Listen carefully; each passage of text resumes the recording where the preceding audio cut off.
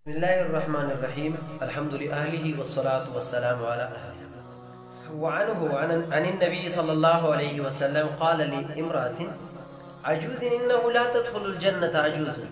فقالت وما لهن وكانت تقرأ القرآن فقال لها أما تقرين القرآن إنا أنشأناهن إنشاء فجعلناهن أبكارا نجي دايو حديث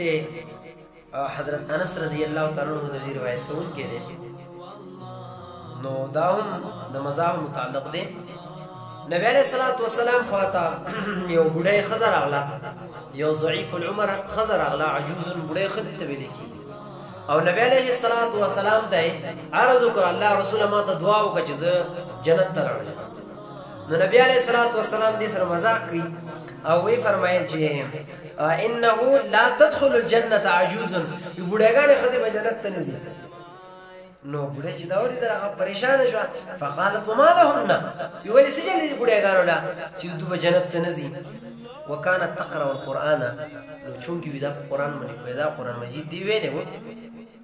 نو فقال لها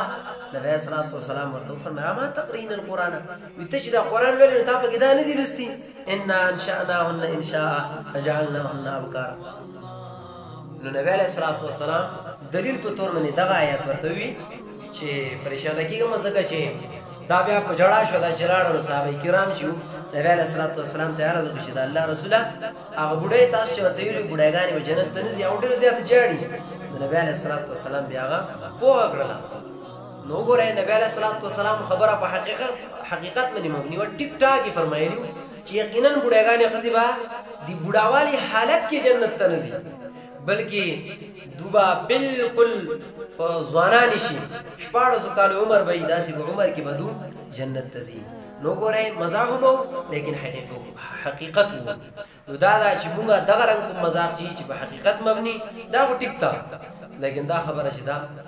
دا درست نه ده ځکه چې یاد چا کې جوی وکړو یاد چا قد پوری خندا وکړو یاد چا رنگ پوری خندا وکړو یا سو ګډي یا شلوي یا گنجاوي یا نور څه دي نقصي پکې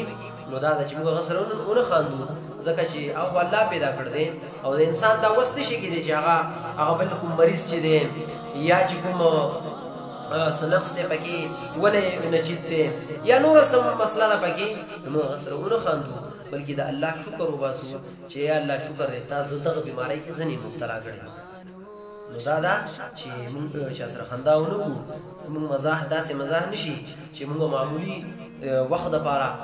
خپل کوم محفل چې دی هغه خسته کو او خلک وخندو صرف په دی باندې چې بلکې عیب لټو چې دی داسې دی دی داسې دی دی داسې دی هغه ملامت کو هغه رسوا کو هغه ذلیل کو او نور لس کسان وخندو نو زما ستادي مزاح څه فائدہ وکړه زما ستا دې مزه خو فایده څه وکړله چې یو مسلمان زړه رور زړه یا د مسلمانې خور زړه تا ټوټې ټوټې هغه تا ذلیله او رسوا کړله نو څنګه سړی خپل عزت ته وګوري چې څنګه خپل بې عزتي نه غواړي همدغه رنګ خپل مسلمان رور او خور له همدا خوښ شه هغه هم بې عزته کوه اګر چې هغه کې عیب ولري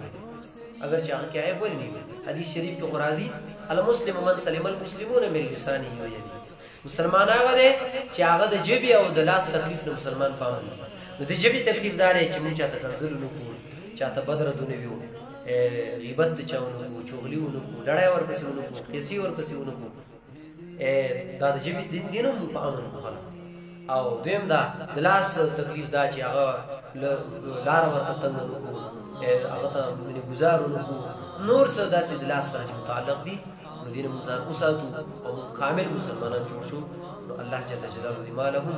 تاسو ټول عمل کوو